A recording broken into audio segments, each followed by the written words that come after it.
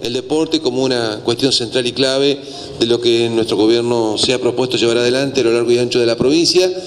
Por eso que estamos en esta oportunidad también colaborando, siendo parte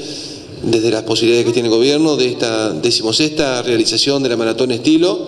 que ya es un clásico del deporte de aquí de la región, de la comarca, de Viedma, pero también de la provincia. Seguramente lo hemos hablado con los hermanos Hecker algún día y no muy lejos. Eh, veremos la maratón estilo también proyectarse a otros lugares de la provincia para que otros rionegrinos también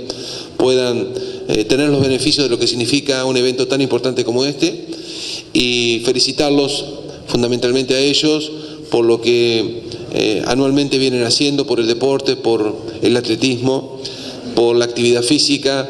por la posibilidad que nos da a los en particular de tener un domingo tan importante anualmente como este que vamos a tener el próximo, en donde con nuestros hijos, con nuestra familia podemos participar también del evento, en la caminata, presenciando eh, después la maratón propiamente dicho y a los grandes atletas que se dan cita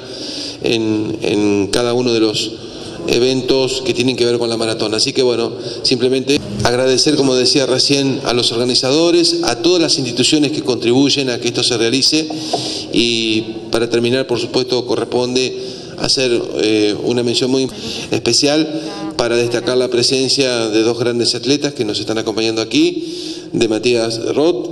y de César Troncoso, que está por allí, eh, dos grandes exponentes del atletismo de la comarca de Viedma y de la provincia, y por lo tanto un honor y un orgullo para nosotros que puedan estar compartiendo este momento.